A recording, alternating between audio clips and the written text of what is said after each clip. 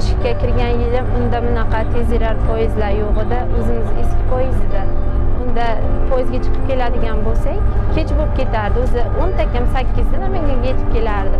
Shuning uchun yo yakshanba kuni kelardim kelib o'sha yerda kvartira olganman. Kvartira olib o'sha yerda qolardim.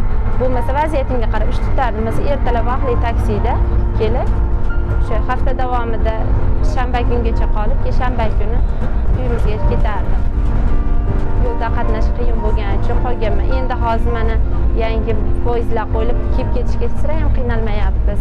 Endi hozir mana poyezdda har kuni qatnayman. Ertalab o'sha yetti yarimda kelaman. Beshu beshda ketaman poyezdda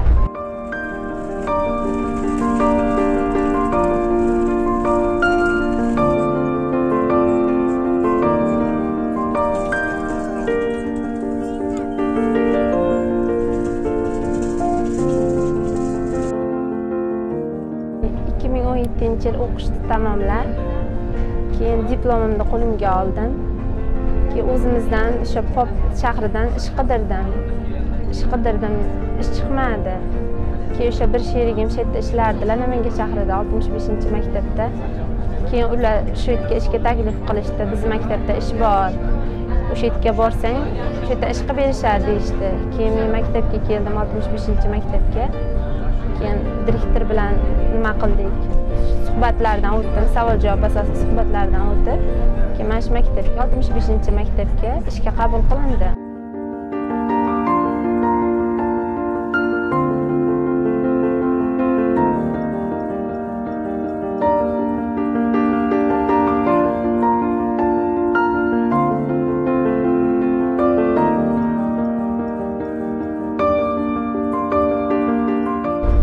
Qishda juda qiyin bo'ldi.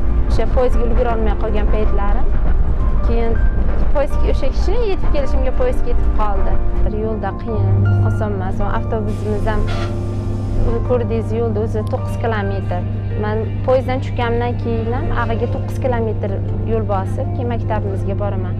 Qiyinchilik o'ziga yarasha qiyinchiliklari bor lekin o'quvchilarimiz yaxshiligidan kollektivimiz yaxshiligidan qiyinchiliklar menga bilinmaydi uzoqligi.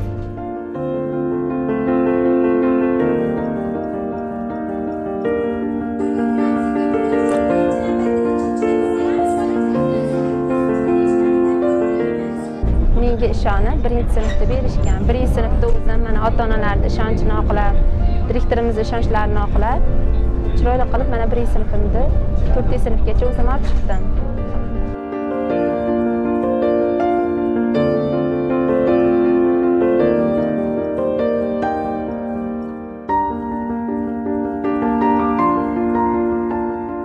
Men dars soatim o'n yetti soat bir million to'qqiz yuz ming oylik olaman.